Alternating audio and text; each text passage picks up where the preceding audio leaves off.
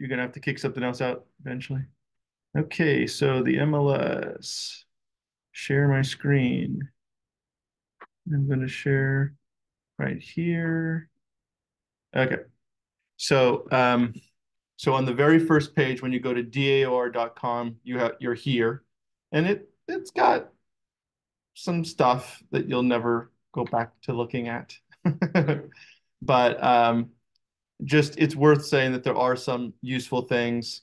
Um, you probably notice a lot of these things, see some of these ads that come up when you go into the MLS, those ads are there. Um, anyways, okay, so once you get into the MLS, you end up here.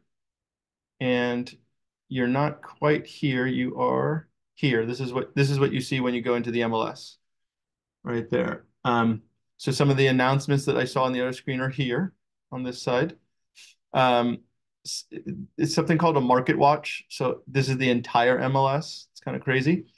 If you have contacts that you've put in, and we're going to do that today, if there's contacts you put in in for yourself to, to do a search for, um, you can see kind of them there and so on. So pretty, pretty basic.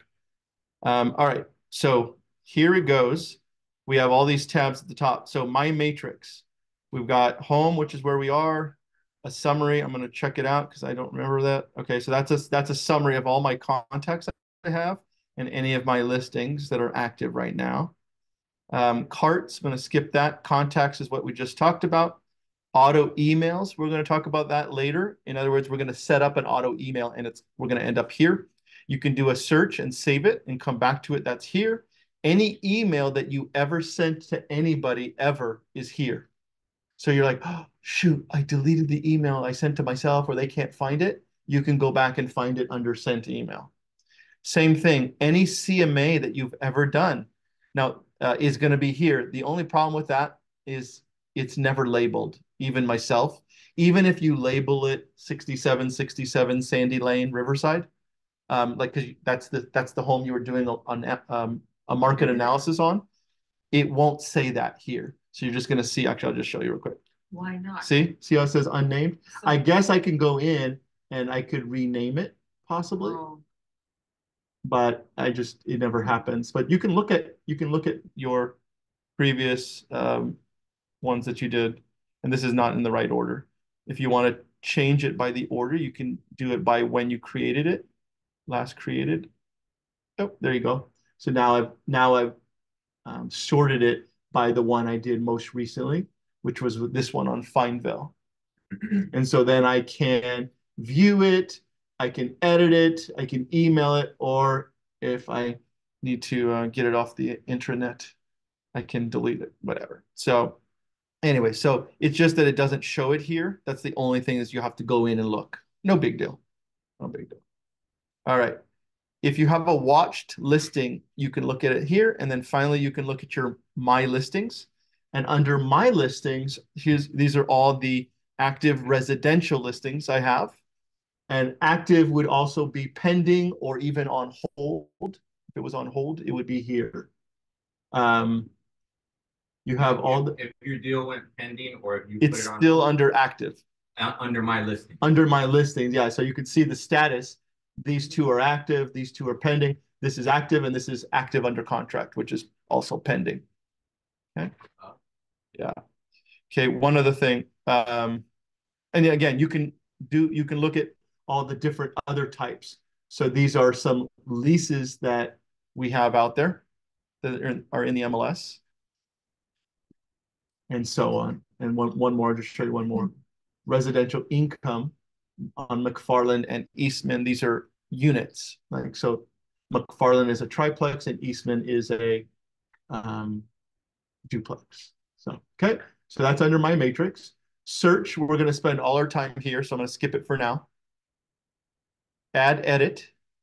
So the add edit button is to add a listing or edit a listing there's two ways to go and add or edit a listing. One way is here. So if I'm going to have a brand new listing and I'm going to put it in the MLS, I hit add edit and then I click on add new. And then I say what type of listing is it. Is it a residential, like a condo, a house, or a townhouse?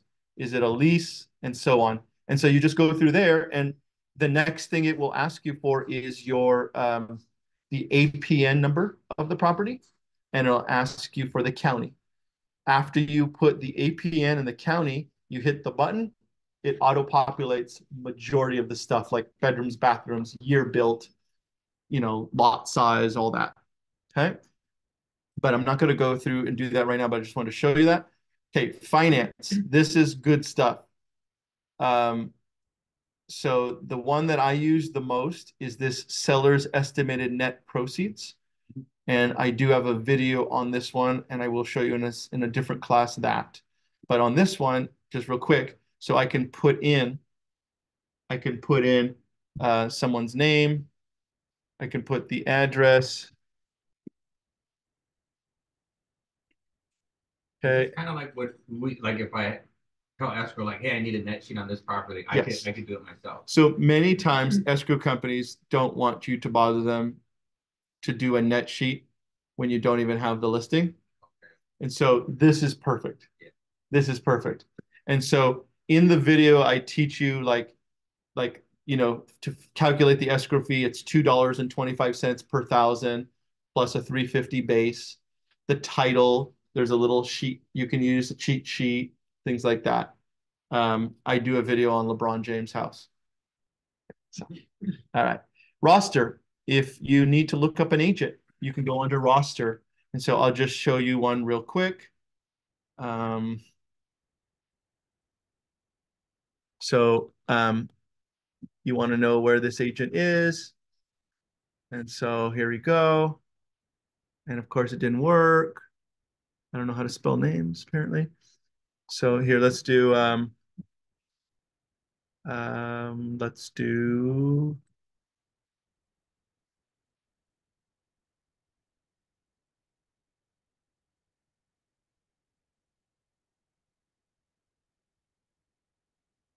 here, it sounds like the, when you're cleaning a keyboard. Okay, so here's, why I want it work. And I put, oh, there it goes. So then you have Armando and all that good stuff. You can find, you can find people, basically. So just the office.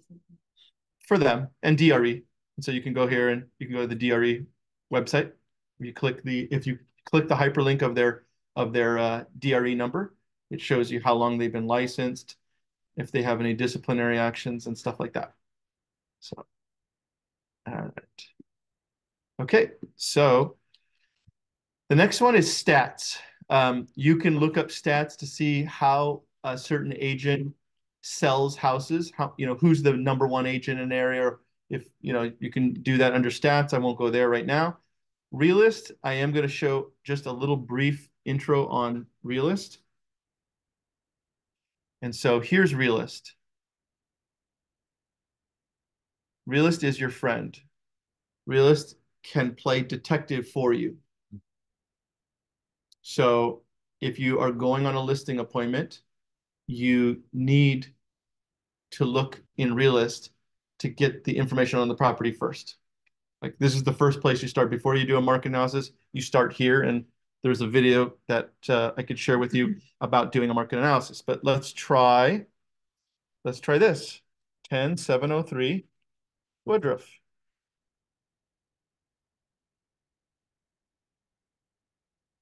And so you can search by address, you can search by owner name, you can search um, by APN number, and there's a couple other things you can do that I'm going to share with you in a second. So you can see here, oh, look, it's Michael and Berdelis's house uh, on Woodruff. You can see at the top when the last sale was, was in 2012 for 390,000. And you can see the square footage and the lot size and the year built, bedrooms, bathrooms, and so on. You can see the, you know, about a little bit information about the owner. Um, it's got the APN right here, 62850280007. And if you are doing a market analysis, you need that APN number to complete your market analysis. So you can have the sub, so you can have the subject in your market analysis. So you can show, um, So you can show that here's my comparables, but here's the subject house and it is three bedroom, two bath, so such square footage and so on. Um, go ahead. Well, down there somewhere it says it gives a value to the home. Do you ever pay attention? to I that don't pay attention at all. No, Nope. just to the comparables. Yes. What Yes. the- Yeah. So it says that, I mean, it's not bad. Here's, here's, There's a rate. here's the realist version of the Zestimate. It's fine.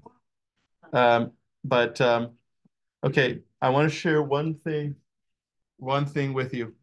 So you see how it says bedrooms two and bathrooms three, um, sorry, bedrooms two under tax records? And, and, the- but it says, in the tax record, it says bedrooms two, but in the MLS, it says three. So what's Oh. going on there? When they Uh, accept, you- they didn't get permits for the new one that's Registered. requested. Okay, so they may not have gotten permits. So the first, the, that's the number one, what Pablo said is the number one thing. That should be a red flag that should raise your eyebrow to go, maybe I need to look into it. Okay? The second part, though, on this particular house, the square footage, if you measure it, it is actually this. It's just in these times, when they built this house and this track, they were two in a den, but the den has a closet. Mm, So it's it's okay. It's um it's considered a third bedroom. So in that neighborhood in that neighborhood over there, two in a den or the den was a third bedroom. Okay. All right. So that is Question. go ahead. uh, Comparing, comparable. Um. And they, it's the- that bedroom, the third one's not registered. Yes. Do we compare with what is registered? Or what we have? So wait for for what purpose? What are you comparing? Compare. Okay, so we I mean, it's what's reality and what's permitted. Okay, but I'm not worried about this. I just wanted to point this one out. I'm not worried about the bedroom count. I know it's three. There's a closet. I don't care whether you call it a two bedroom or a three bedroom. But for but for the purpose of selling this sucker, the agent that sold me the house, Vicky Spearman, by the way, um, put three herself. And you know how Vicky is by the book. But even Vicky knew better to not put two bedrooms in the computer when she listed it. Because quite frankly, two bedrooms for that price at the time, putting it for as a two bedroom home, you're not going to sell it. You're not going to get someone that's going to find you in the computer. That's the problem. So even she was like, okay, I Oh, don't, yeah. I want to sell this sucker. Yeah, three bed, two bath, it's gonna ignore the house. you're not going to find this house if you put two bedroom. So she doesn't, she wants to sell it. Okay. All right. Um, and then the last part that I want to bring your attention to with regard to, so, oh, this is cool. So you can see the last time it was in the MLS. Oh, wait, I told you I bought it. You saw when I bought it. You're like, okay, well, what's this monkey business? Why, why is this here? Um, what this was, was my licensed assistant at the time, Rosie, when I put it in the MLS, I put it under her uh, ID for rental. And I rented this house out to somebody. I didn't want to put it under me because I owned it, whatever. But um, the last time it was in the MLS in 2016, I was renting it for 2650. The point is, though, you can click on this hyperlink and it'll show you a, it'll show you the uh, what what it looked like. So if you see it here, you can see and you can see when I rented it for 2650. Ta-da! That was the house. Okay. All right. Okay. So what I wanted to really share you with you was this part here where it shows the the sales history is really important. Um, you can see when they bought it last. You can see if they've done any monkey business with deeds, transferring it between people It's the bottom. right here, this line. I- And you can see I've done nothing since 2012. Um, uh, shame on me. I haven't put my pro this property in a trust. I don't have a trust. I know. Don't go don't go get run over by a bus today. Um, so, but anyways, so I've done nothing. But a lot of times you will find, oh, they did an interspousal deed, taking that the wife off, or they took, you know, added someone, whatever. You can see stuff like that. One more thing, You can see if they've ever refinanced. And Boring Michael has never refinanced. Is, this is where it comes up to like if they're behind, like lis pendens. So if they were behind, there's one more section below mortgage called foreclosure history, and it would be here. If they've really had a notice of default filed against them, it will show here. Okay. All right. So how do I get past my AI companion here? Oh, shoot. All right. Okay. The last one I want to share with you is the following links. And this one is really good. Um, so if you have a license in Hawaii and you want to sell a house in Hawaii, you can go look up the MLS in Hawaii. Um, if you want to look at some other reciprocating, and I I think I just said that, and look at that, they've taken Hawaii out. It used to be here, that's why I said that. But um, you can look at San Diego system, even though CRMLS a lot of times uses um, the San Diego area. Many homes you will find in your CRMLS. You won't have to go into this Paragon system.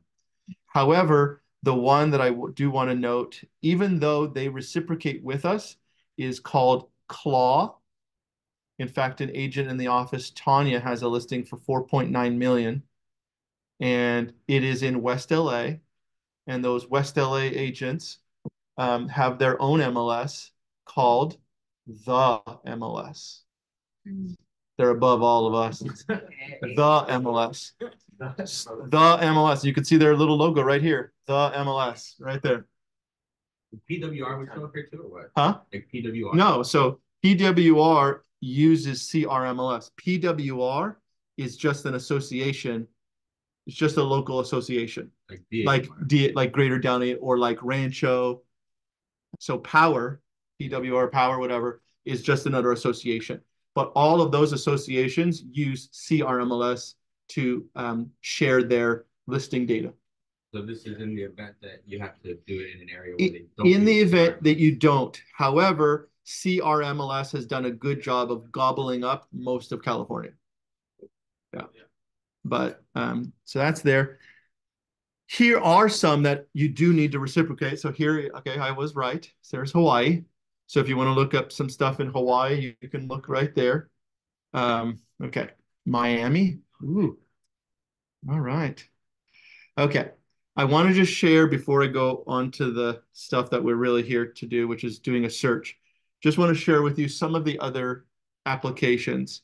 Um, Cloud CMA is a way to do an, a market analysis. I'm not going to show you here. In the market analysis class and video, I share with you the Cloud CMA app or application or website.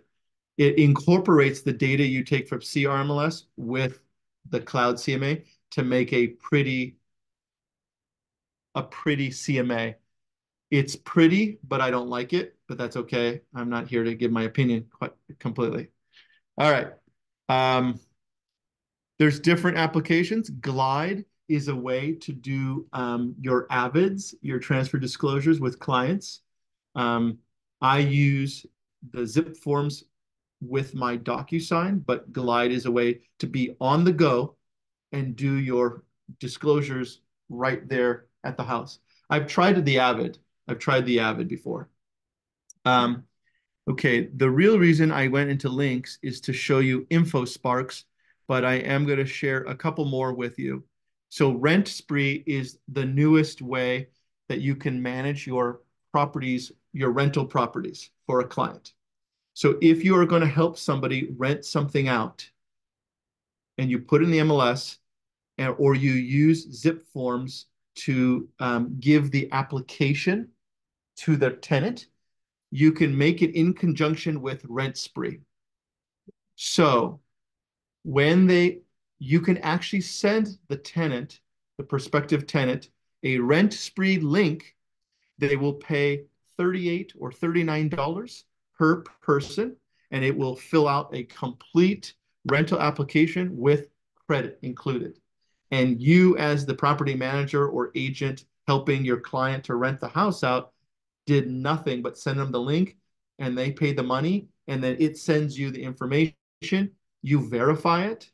You get an email and you verify it, and then um, you can share it with your client too. And the application they're filling out is the um, the zip form car application. And then they include pay stubs in there and the credit. The only thing it doesn't include is a background check that Zillow does. So Zillow uses that.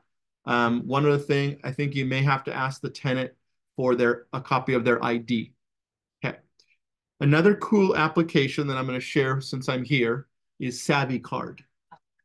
Savvy Card is a way to um, share your business card with a client or another agent. I'm not going to get into it here, but check it out. And it sends you a pretty cool business card, digital business card. Um, the negative on it that I've noticed is when I send it to the person, when I, I receive a lot from agents, some savvy cards. And the only thing I don't like is um, it, um, it sends, it takes a while to load. I get the business card, but it's not the pretty, it, you can't see it. It's just a link. But Yeah. then it loads. It takes about 20 seconds, and all of a sudden, oh, all of a sudden I can see their business card. It pops up on my text. So that's the only kind of weird part, but it's pretty convenient. The other part about Savvy Card is when you send it to them, if you click on it, you can add it to your contacts. I I have, so you have to download it. You have to download, right? Alex, this is the one I was. That's what we're talking Yeah. about, right? Yeah. Okay, That one. Yeah. got it, So, And then your face is supposed to pop out, got it. but you have to contact. yeah, and it, I think it, it's free for greater DOR members. Yeah, It's a free, it's be- free. it's a free member benefit. Another one, but it was also having some weird issues when I would send it to people. Really? So I realized I have to save their number first before I even send it to them. Uh, If I send it to them with their number not saved Then- in my contacts, for some reason. They can't was- open it? Do you That use wouldn't it? uh, Hmm? Savvy Card, S A V V Y. Yes. Do you use it, Michael? I don't. I don't. Although I need to, I need to uh, update my digital business card that Joey made for me because I, it's like six years old. Uh-huh. It's six years, six years ago. What I did notice is when you go in there and look at property, you get an email of what that person is looking. If they use the Savvy card, oh, that's very cool. I used it. Yeah, I That's cool. remember we Okay. That's a good, uh, that's a good thing to have. Yes. see what they're looking at. All right. So if you are on your phone, the best app on your phone that is in conjunction with the MLS is MLS Touch. 100%. CRMLS, CRMLS has its own app as well. It's pretty good. Um, let me see if I actually have it myself. I do. So CRMLS has its own app. I haven't logged in in a really long time, so it's not going to work. Yeah, okay. I have to sign in. But um, I use MLS Touch on a daily basis, constantly. And um, so if you go to your CR, if you go to it, I'll just show you real quick what I love most about it. Um, you can do a map search now, and they've made this so easy. They've made it as easy as using the MLS. The, the two things recently that they added was they made the map search easier. And then the second thing is they made the tax records almost as good as the tax records here. So like now that the, I almost don't need it. They've all also added so many extra fields when you're looking at a listing. Um, let me see if I can find one. Hilton. So now in So here's this one on Haledon. Actually, one second.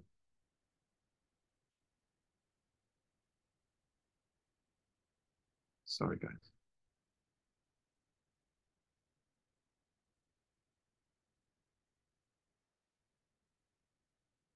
So here's this one on Haledon.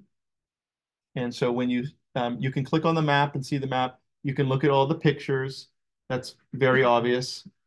Okay, nothing big there. you can hit the share button and text it to a client and they're seeing what you're seeing minus the agent and showing information. Okay.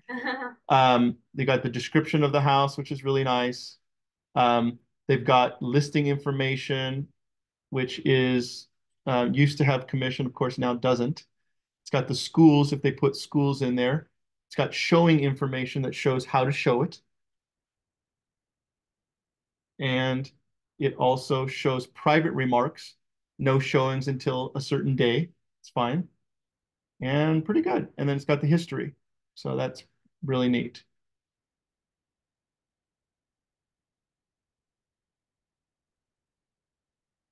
Okay. So that's MLS Touch. I highly recommend it. All right. But the real reason, the real reason I always love to show um, these extra links is for InfoSparks.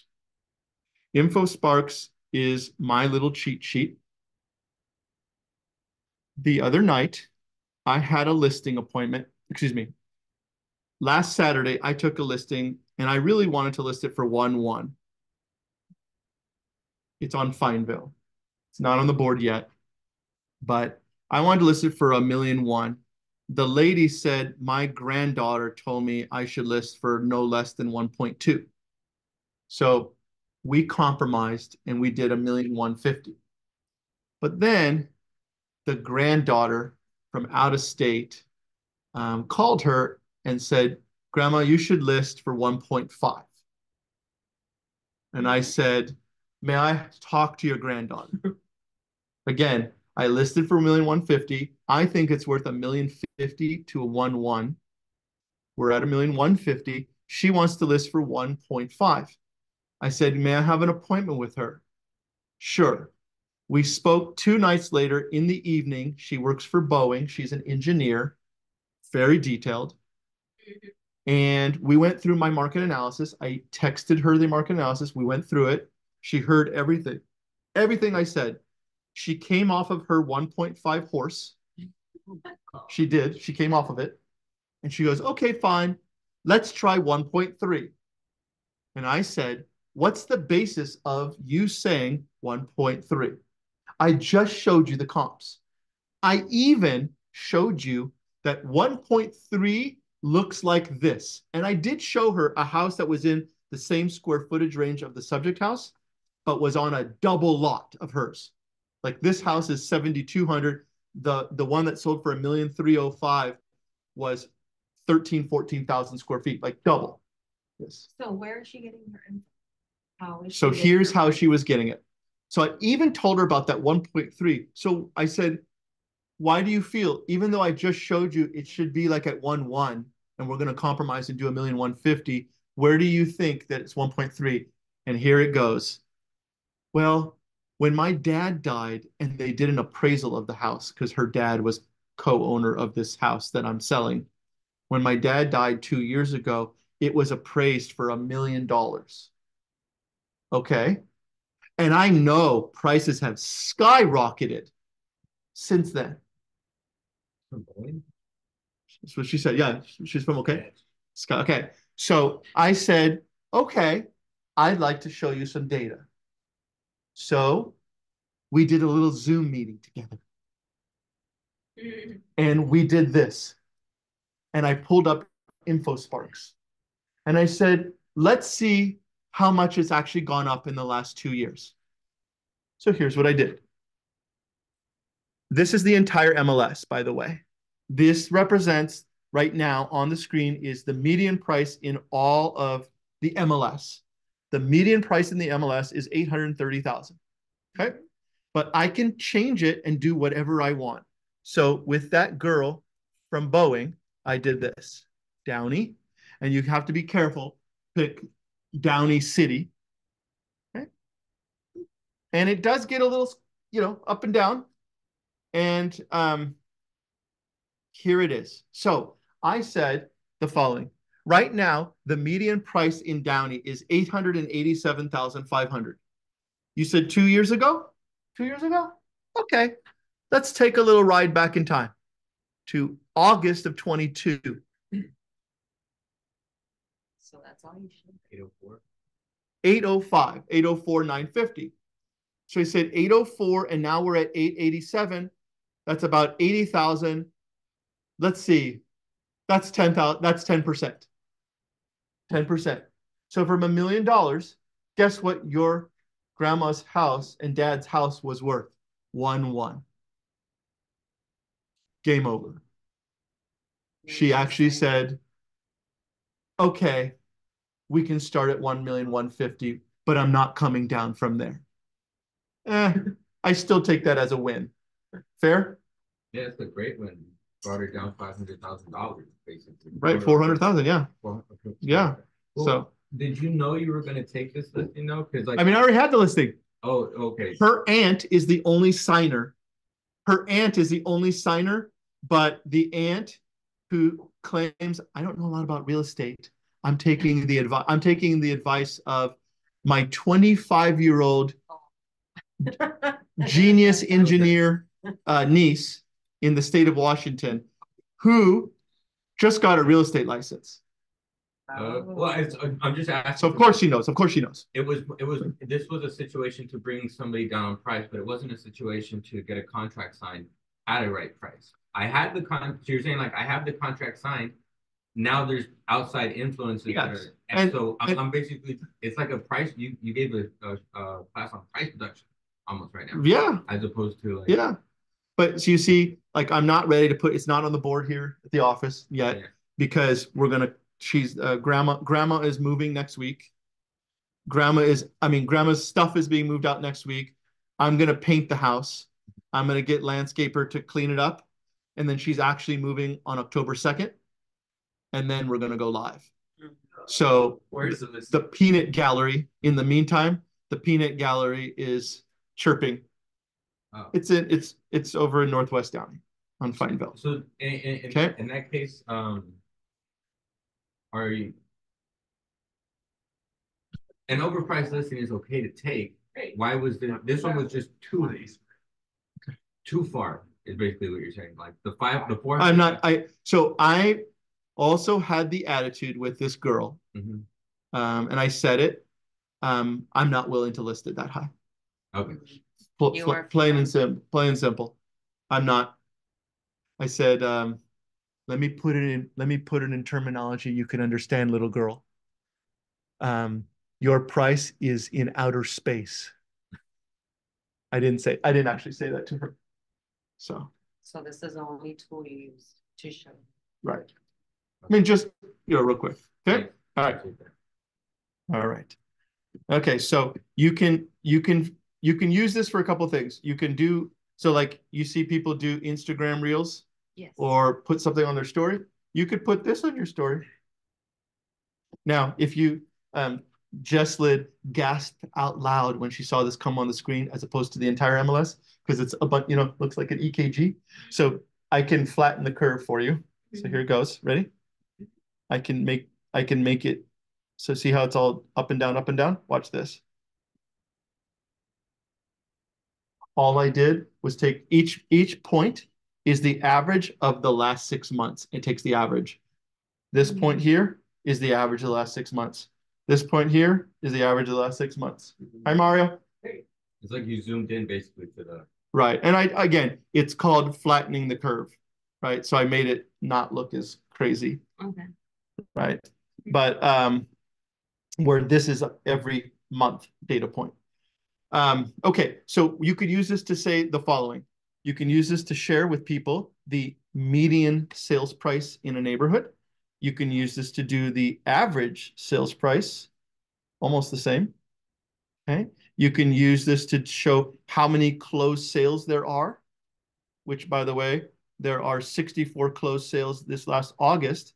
And you could see like a year ago in August, a year ago in August, there was 82, uh, 82. So we are sluggish. We're sluggish this year compared to last year. So that's something you could show someone. You could show someone the percent of list price when something sells. So this show this shows you what did something sell compared to the list price, the original list price. And so you can see that for the most part, things are selling at list price right now. But a little, a couple months ago, was at one oh one. You can see it was one oh two last October, it was a little hotter. One oh one, you can see, oh my goodness, hundred and five. This was in May of twenty twenty-two. Things were selling for five percent above the list price. So this kind of data is easy and you could share it. And if you're, forget about the sharing part, it's also knowledge, right?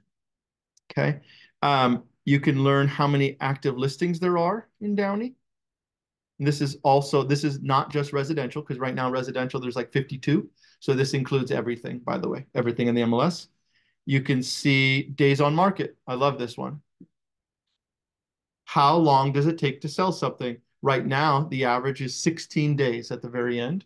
It's 16. And you can see that we did have a point where like things were selling below list price. You saw that a little while ago. Things start to get a little slower. And that was in November, you know, the uh, fall of 22. It started, the, um, the sky started to fall. It did. I, I thought that was it. I thought, I thought this was the beginning of the market correcting, but February came around and we started seeing multiple offers again, and here we are. All right, so just wanted to share this with you. The last thing I wanted to share with you, and I'm gonna go back to the sales price, is let's say, and let me make this maybe a rolling three months, not quite as crazy. There you go. And let's say I want to share it. I can hit the share button, and I can I can um, use this for social media or or email, a PDF, and so I can hit the share button I can hit copy the link and I can email it to myself or what have you. And then I can share it. Um, and so that's kind of nice. It'll come up on your phone. You can hit a uh, screenshot uh, and go from there. Good? Okay, moving on. The real reason we're here. All right, search. So if you're searching for um, if you're searching for houses, condos, townhouses, uh, own your owns, you go under residential. If you're looking for residential income is if you're looking for units. Residential lease is if you're looking for rentals for somebody. If you have a manufactured home in a park, that's here. You got commercial, for commercial, you have commercial sale or lease or business opportunity. And if you're not sure what the heck you're looking for and you just want to see everything, you can hit cross property and you can search the entire MLS under any category is cross property. Okay. Public record is searching, kind of like searching in the tax records. I'm not going to go there now. So we're going to spend the majority of our time here under residential. And so you've got detailed, which is what I'm going to spend my time on. Quick, if you just want to do a quick search that doesn't have as many search parameters, you'd use quick. If you know the listing ID for a property, you can go there. And actually, let me show you that for a second. So if a client gave you a bunch of MLS numbers, or you were doing a search and you jotted them down, you can go back here, put all the MLS numbers with commas in between, and you can have all of them in one result. Commas and space? Yeah, so you put, you know, DW, one, two, three, four, five, whatever, comma, you know, RS, two twenty-four, whatever. So MLS number with a comma, MLS number with a comma, no space. And then it, it the number goes up too. That's what I use. Like if Yeah, like so if you had put the in matches. And and it then all of a sudden you put in five, but you only have four, then one of the numbers is off, right? Right. Yeah, exactly. Good one. All right. So that was that. If you have an address, you can go there. If you want to see today's new listings, if you want to do a CMA this way, um, I've seen a couple agents try it, and then um, I'm not a fan of doing it that way, but you can. And if you want to create search parameters that are your own, you can go there. Um, okay, one last thing before I start is here. You can put an address right here. So um, if I put in, I put in this, I put an address, I can see a listing, I can see everything. But I'm going to say right now, the search toolbar at the top is very picky. If I put in street, I don't think it's going to work. It doesn't work. Yeah, see? It's so finicky. Um, it won't let you do it for income property. It will only let you do it for active residential. It's pretty uh, kind of weird. Okay. Um, all right. I almost want to do a class on toolbar, but I need to learn the tricks first. Okay, so here we go Took one up. for for this toolbar. Yeah, there's little codes you can put in. Oh, yeah. You can, um, do a setting. You can put your pictures of the pictures of the homes in there. Oh, sure. Wow. Cool. All right. So um, Pablo mentioned the count. Like how many listings do we currently have in the search we've set up? At the bottom here right now, it says 2,500 plus. Why? Because it's just taking the entire MLS. But the minute I do this, let's see what happens if I put active. Watch what happens. Okay, we still have a ton. now we go, let's go Downey. Active in Downey. We've got 60, guys. We're up to 60. Okay. Inventory is going up and things aren't things aren't selling. All right. So what today is about, we're going to do market analysis another day, but what today is about is how do I do a search in the computer? So let's say I'm looking for um, someone that says they want a three bedroom, two bath in Downey under a million dollars. So here's how I would do it. Active, Downey, bedrooms, three plus. Hello. Okay. Bathrooms, I'm going to put under total two plus. And when it's under total, that means whether it's a half bath, a three quarters bath, or a full bath, it doesn't care. So two plus is good there. And then they didn't tell me a square footage, but you can see right now, we started with 60. Right now we have 51 homes that are three or more bedrooms and two or more baths in the computer. But they told me they can go only up to a million. So I can do the following. I can go zero to a million, or I can do a million minus. Okay. Or if you don't want some some stuff that's like not nice, you could go like 800 to a million. You can do that 800,000 dash a million. So I'm just going to do this. And now I'm down to 24. Oh, but they told you, they told you they don't want anything less than 1500 square feet. So I'm going to go under square footage and I'm going to put in 1500 plus. And now I'm down to 18, for example. Okay. If they told you they want like maybe you're looking for condos and you know that some condos don't have garages. So you want to only get the houses that have a garage. You can go under garage spaces and put one plus or two plus. Careful with that because sometimes it could have a garage, but the agent didn't do a good job with putting in the computer. But just sharing that with you. All right. Um, sometimes you may want to search by area. Oh, by the way, sorry. Um, they only wanted a house. They didn't want a condo or townhouse. So I'm going to click on single family. And now I'm down to 14. Oh, but they wanted a condo instead. So let me undo that for just a second. Okay, so if you want to do multiple, multiple selections at the same time, you hold the control button after you press the first one. So if I do, do condo, hold the control button and do townhouse, I now have two selections, condo and townhouse. So the Okay. control? Control on, on a on a Mac, it's the command button, but on on your computer it'd be a control button. Mm, okay. Yeah. Okay. All right, so single family residences, we've got we're down to 14. Okay, next part for area. Different areas have different uh, different cities have different codes for the different areas of the city. For example, in Downey, we are we have four denominations: D1, D2, D3, and D4. The cross kind of the uh, borders would be Downey Avenue. Downey Avenue breaks up west with east, and Firestone breaks up, you know, north versus south. And so if you have the Downey Avenue and uh, the Firestone, you end up with four quadrants. So you end up with D1 being northeast, D2 being northwest, D3 being southwest, and D4 being southeast. However, you're welcome to use it. So like, let's say I had a client, they only wanted North Downey. And they wanted to be D1, D2. So now I went from 14, I'm down to nine. Okay. But there's a caution to that. The caution is if the agent mislabels where they're at.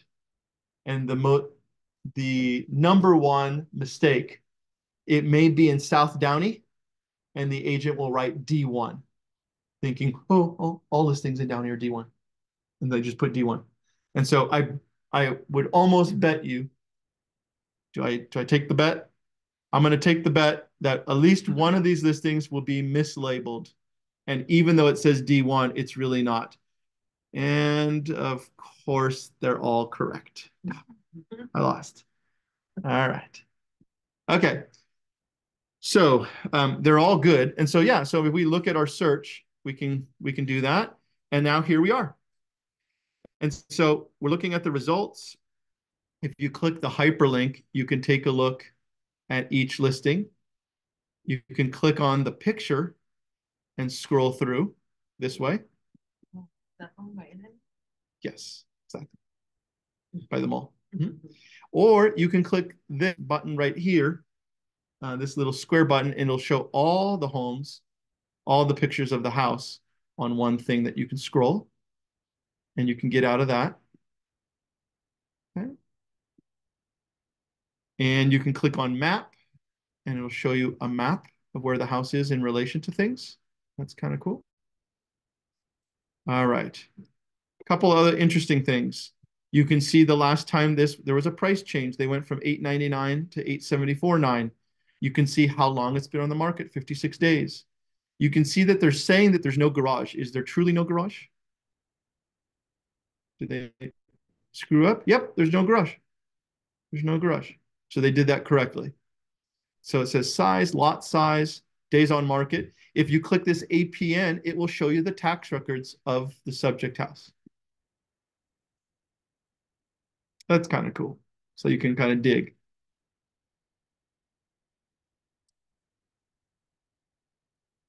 Okay. And so on. You can see that there. Okay. Um, other things. So it shows the description, shows you information, shows you private remarks and showing remarks on how, you know, things you as an agent can see that the consumer can't see. Okay. So use it to read it and see uh, how agents want to be contacted to show it. So you can see that this agent is a Redfin agent that you know works out of their house, doesn't have a brick and mortar office, um, and is very techy. So they prefer you not call them, call Showing Time or use the Showing Time app, which I didn't show you by the way, and I will show you. I'll show you later. So um, actually, let's just use this. Let's use Showing Time. Let's say we want to schedule a, a showing for this house. We can go here and click this button right here, schedule a showing, or we could do it down there where I was a second ago. So if I click on schedule a showing, I want to show it. And so here it is. And I say when, where, where did I do the, where I want to schedule, schedule single showing. And it says that on this particular, okay. Oh, there you go. And so now I schedule my showing. When I finish showing, setting it up, it will, I'm not going to go through with it, but it will ask me, how do I want to be contacted? It was actually there on the screen. Um, you have to say that you're willing to get a text message and email, at least one form. An email has to be at least one of them. Uh, and then you'll get a text message or an email saying, oh, the listing agent has been contacted. Stay tuned. And when they confirm you, oh, you'll get a new email saying you're confirmed, or then they'll share, share other information. Um, some agents use showing time just so they know when people are going, but they set it up. You can set it up where when you get a showing request, you can make it where they autom you automatically confirm them. You don't have to do anything. You just confirm it. But you just wanted to use the showing time app so you can keep track of who's going through the house. Why? Because then you could share with your client, hey, this is who's going to the house. It's it's a little fancier. You talked about comments. Um, if you want to put a comment, it's through there. To Like the agents. to the agent. At the end, I think At- they send you like, uh, They- give me a feedback. Give you feedback. feedback. Is that through there? It could be through there, yes. Yes. All right, so one other thing here, so I'm just trying to say, look at what they say. So this one says use showing time to set it up, right? Don't go to the house without using showing time. Okay, all right. But then it says there's a Supra on the house and it's vacant. It says that right here. Supra and vacant. Fair. All right, this person uh, also put, you can see here, there's some other hyper, some other links. I like this one, this, they put a virtual tour in there. So if I click that on, so if you actually add a virtual tour to the MLS for your listing, it ends up here. And let's check it out. And so they use Matterport. So it's not like what Joey does, where Joey gives you a YouTube link or video with a YouTube link. It's like this, but Matterport, you go like this, you click on the circle and voila, I'm in the room, so to speak. Okay. All right, so that's this one. If you want to click to the next one, you can click next. But also when you're on the listing, you can click on tax records. You can click just the photos. You can click the history of this sucker. You can click the parcel map. You can click flood map. Not very, not very useful in Downey. You can click foreclosure, open house, neighborhood. So is, uh, the foreclosure open house is just for that property? Just for this, mhm. yeah, kind of cool. Demographics, and, and so on. Okay, so I never, I forget it's here. Yeah. We always use just listing. Ah. We don't never notice anything else, but just wanted to share that it's there. So we go to the next one. And so you can look at you can click on, so by the way, if I was, if I was happy with this one and I wanted to select it, I could hit the select button if I like here. And I can go through them like this. And ever, you know, I was just doing a search, right? And so on. And I was happy. I hit agent one line display and I go back to the original screen. You can see I've selected three houses. You can also see I've got other hyperlinks on the side as well. You can see other information here, days on market, all that good stuff. But now I want to, what I want to do with this is I want to email it to myself or I want to email it to the client. So I can hit that. I can hit, email and so on, and I can send it off to somebody. I can also use this information to print stuff to myself. So I can, I can maybe print out the agent full, maybe with a map and hit, hit command, hit uh, control and hit map. And then I can preview it. I can hit print to PDF and we can take a quick look at it. Yeah, so now, yeah, so so then it's here and we can scroll through these. And at the very end is a map that I chose. I love this map for showing property. I use just this at the least. I'll print just this out. If I don't want to print out a lot of pieces of paper and waste paper, I at least print this one out and then I write on it and I'll write like maybe the agent's number or something like that. The other thing I use when I'm showing property is, at least if I have this, as I'm going from house to house, I use MLS Touch to help me how to navigate, you know, to look stuff up quickly because it's all the same stuff. It's all the same stuff on MLS Touch that's in this printed version. It's on my phone now. So there's really no reason to print it out. But if you have anxiety or it's your first time, by all means, print it out and uh, and go from there. I mean, thank goodness you don't have to use this Thomas guide like I did when I started. I had to use this type of a not Wasn't there a book too? there's a book, yeah, not this, the, the book. I had to use the Thomas Brothers guidebook. Were people still on time back then? Huh? Because they had to use all that, like they didn't know Yeah. the time. Uh, you, you had to look ahead, right? so there you go. Okay. So you can print that out to yourself. All right. So one last really useful, and am I going to figure out how to do this? Okay. So we picked three houses we wanted to show, and you were not very, pretend you were not very good with directions. Or maybe you were in an area that you're not familiar with. My personal opinion is print out that map page I had so you can kind of decide where you want to go. So you're not zigzagging all over the place. However, for those that are even more directionally challenged, they made something called directions. I love this. Click on the direction button. I'm gonna pick one more, by the way. I'm gonna pick one more house. Ah, so- shoot, shoot.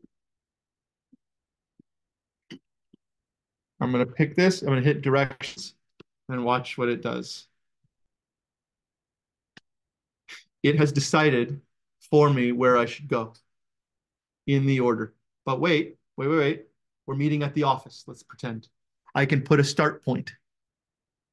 And so I'm gonna put that we started here at the office.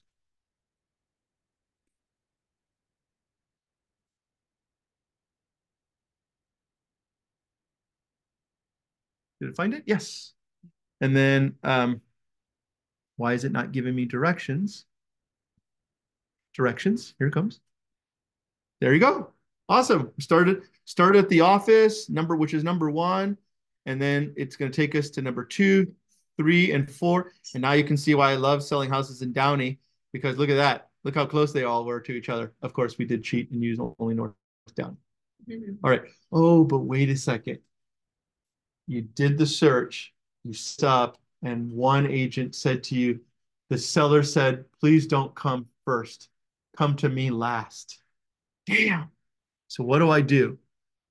I can, so the the the one on Via Emery wanted me to go last. So watch this. I switch the order. And then I click on directions again. All has been restored in the world. Wait, show me that again. You So the- you you just highlight it and then go up or down Oh, oh, to position. to okay. position it.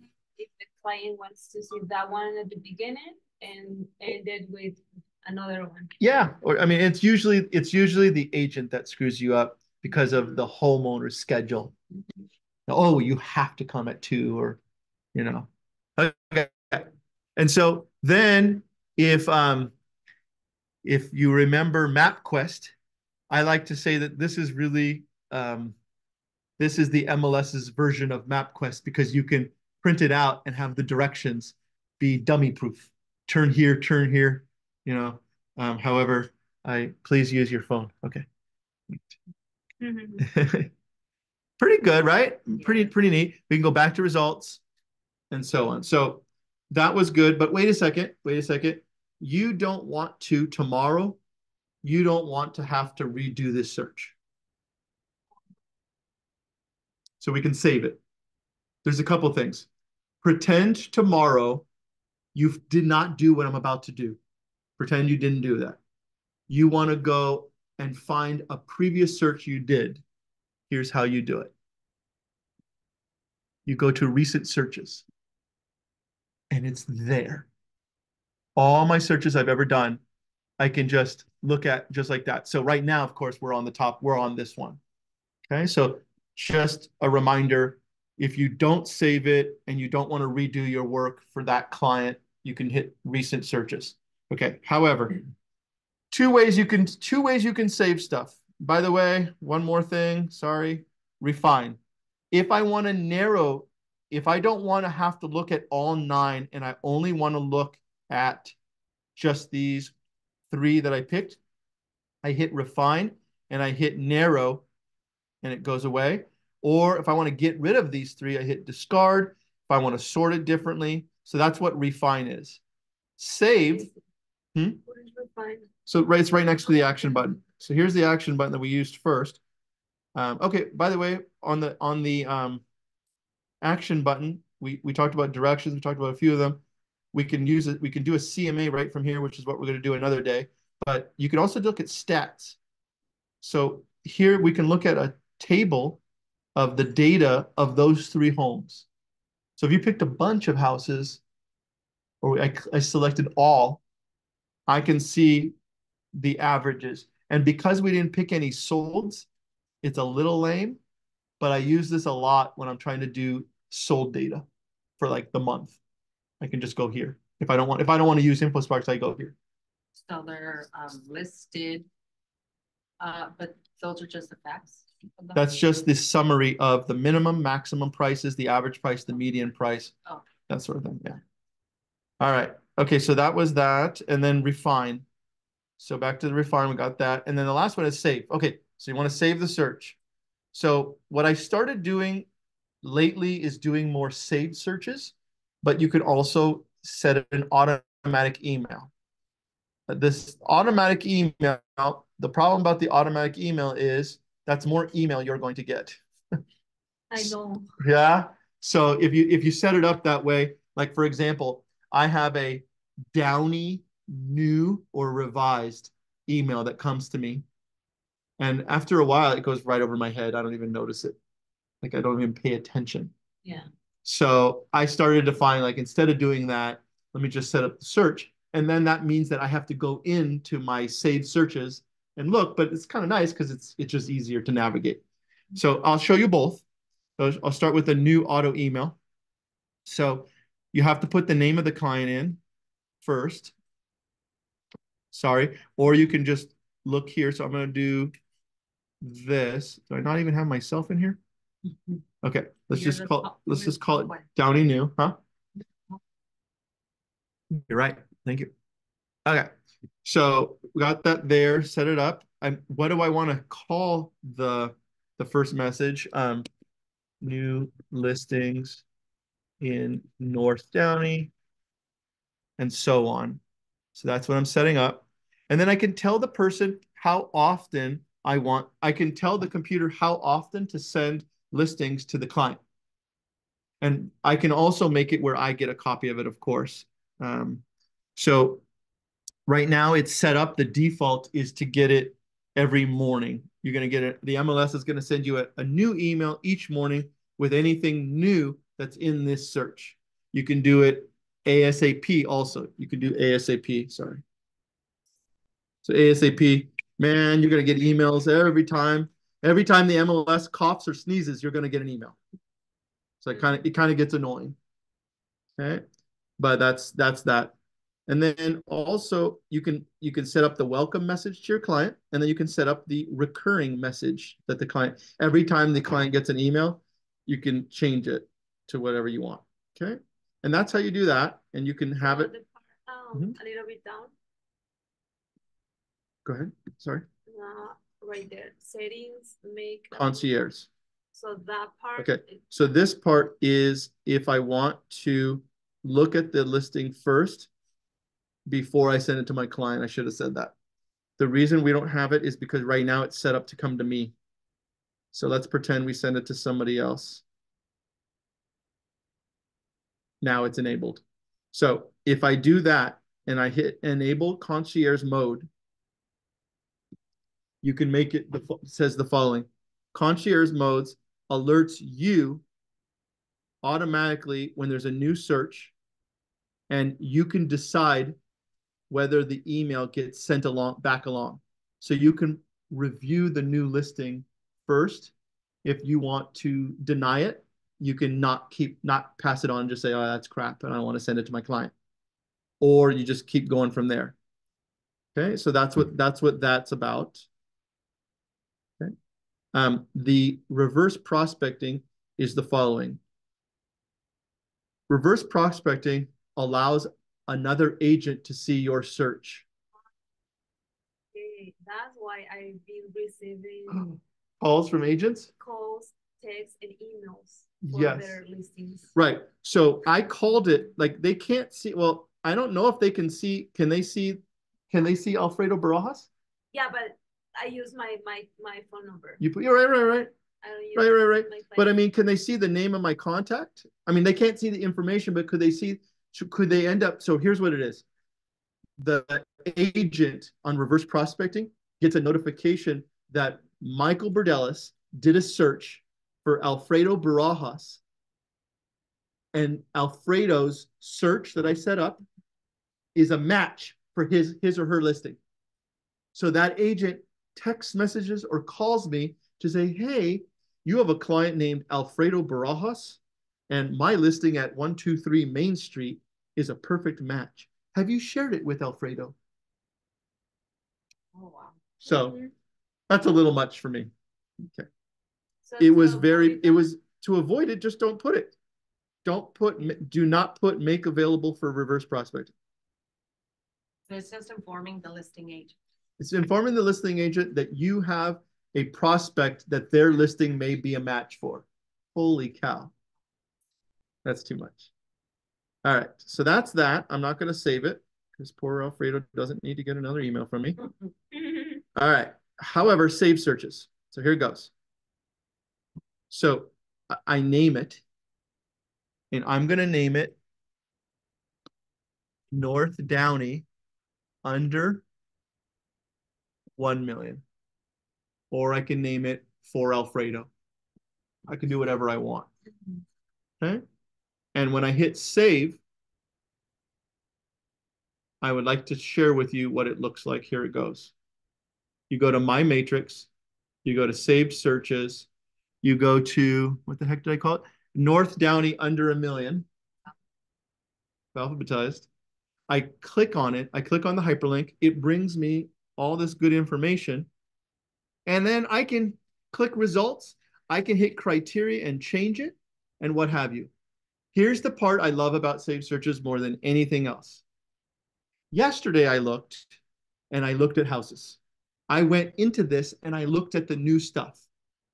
The next day when I go in, if there's anything changed, anything new since the last time I went in, all I have to do is click on date since, and it will only give me the listings since the last time I came to the search.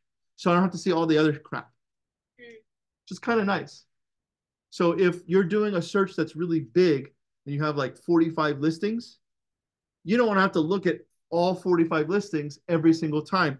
If you click date since, you will only see the listings that came on the market, back on the market, price change since last time I looked at the search. So that is pretty darn useful because it just saves you a little bit of time. And do you know how can they change or edit the search? Yes, criteria. Okay. So I'm going to do it, okay? Hit criteria and you just go do whatever you want. So in, in my case, they told me they want to go up to 1 1 instead. And yes, I know that my search says up to a million and we're about to change that, but whatever. Yeah. Okay, there you go. And then when you're done, you click save. And it's saved forever. And now, now it shows 1 1 instead of a million Okay, even though my darn search up there says a million, but can I change that? Wait, wait, wait. Like for I can. And you know what happened? Uh, my client wanted, um, like fifteen miles area ratio residential. So it took me a while to start going. Hmm? Yeah, it took a while Yeah, to get it all set up. won't you go up to two twenty. 500. Mhm. Well, you, gosh, could you imagine looking at 2,500 listings? So, I mean, if you're looking at 2,500 listings, you just haven't had come up with enough stuff to to narrow it. Mhm. Okay, so here's what we're gonna do. We're gonna take that idea and we're gonna do the following. How are we doing on time? So here, here we go. We're gonna do one more search. Active, house, Downey. Um, I'm gonna do three bedroom or more, two bath or more, and I don't have a price range. Just, just we'll stay here, okay? But, um, you know what? Forget it. Three bedroom, two bath, over fifteen hundred square feet, no city, but they can go to one, two. Sorry. They can go to one, two. I got twenty-five hundred. I've got too many. But it was because that you wanted to look at the map. And so now I'm going to show you guys the map. Here it goes. Um, for the sake of your eyes and my eyes, I'm going to change this and I'm going to just do the map. So it's not going to, it's, it's a little easier to see. So I don't have to see the satellite version. Okay. So here's what I want to show you. So these are all the listings all over town, all over the place. You can see we got Whittier over there. Um, and I want to do a map search. Um, so I want to share with you a few things that you can do. Um, I'm gonna go back to criteria. So you can do right here, I could put a certain spot and I can do 15 miles from a certain spot. So if they tell you they want to be 15 miles from a certain location, I can do it here. So they, yeah. This is number one. I, I promise you there's going to be some cool bells and whistles coming up. Okay. And then they tell you we want to be five miles away. Okay. That, that was good. And just to show you on the map, that's what it looks like on the map. Okay. I'm going to, how do I undo it? How do I delete it? I hover over and I can delete it. Or I could have done it from the criteria and just change it. Or I can do this. I can do that. Showing the miles. Okay. One more thing. Let's say you want to go the opposite way. Let's say you you don't want this area. You do not want this circle. You can exclude it. Now, what have I done? It's going to give me every all the listings not in that circle. I can do the opposite. Okay. I'm going to take that out. I'm going to delete it. Now we're back to square one. There we go. All right. So now here comes the fun. We did circle. By the way, you can pick a circle here and just do it. You can draw, which is what I'm going to do. So they tell you they they want to be north of Firestone in Downey only. So I can hit the draw polygon. And they're also very snooty. They don't want to go on the other side of the 605. And they don't want to go on the other side of the 5 freeway. Real snobs. Just kidding. And so you can look at this and then you can look at your results just like that. Now, one other really cool part is you can do this. You can hover right over, you can hover right over the listing. I want to show you this. And do this and look at it this way. So if you don't want to go to the map, you can do it this way. And then you can always come back to it like that. Okay. All right. That is that. Or I get this every once in a while, just like I shared with you about, um, I shared with you with a circle and I did not, I excluded area. I could do the same thing. If I don't want to go over here, I can draw and I want to say, I, I want to go not, not north of the five. They do not want to go north of the five and it's just Downey. And I, you know, so now I can exclude it, exclude this shape. So it's going to be everything not in here. And again, if I went back to my criteria, I know I'm going fast, but watch this. If I go here and I put Downey, it's only going to give me Downey listings. And if I go back to the map, it's all the Downey listings except this area. Okay. So now here's the big, the last big one. Um, I'm to delete that shape. I'm to get rid of Downey. Give me one second. I'm to go back to this map. And your client says, um, I am a huge Dodger fan. Huge Dodger fan. Huge.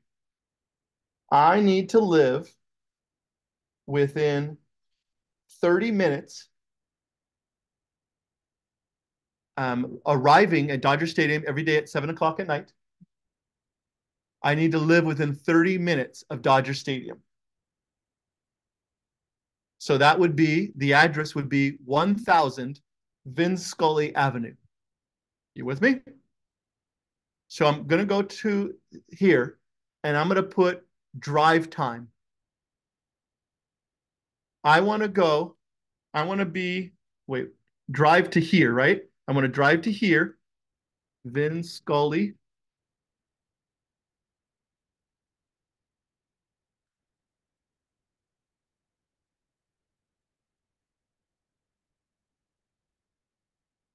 And I want to drive to here, arriving at, um, I need to eat dinner first.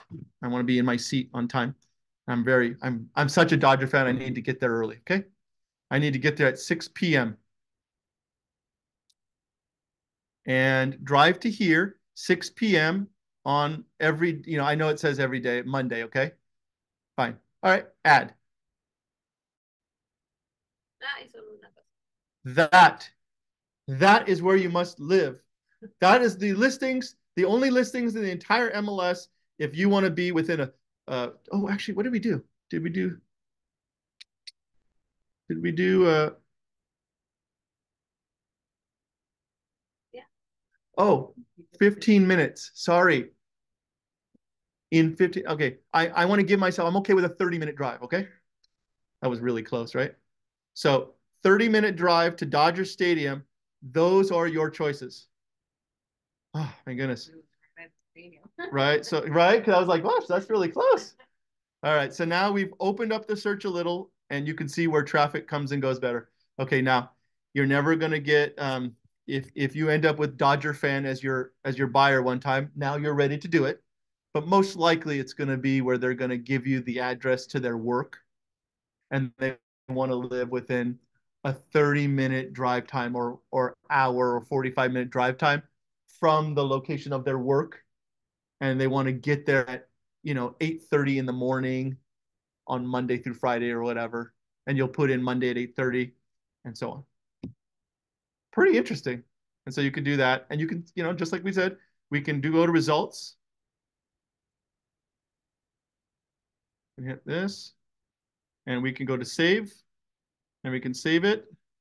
Search dot you know uh Dodger fan and there you go we have Dodger fans saved forever.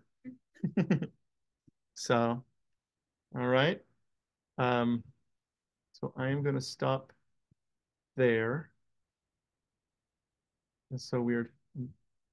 How do I do this? Did it, did it already shut me off?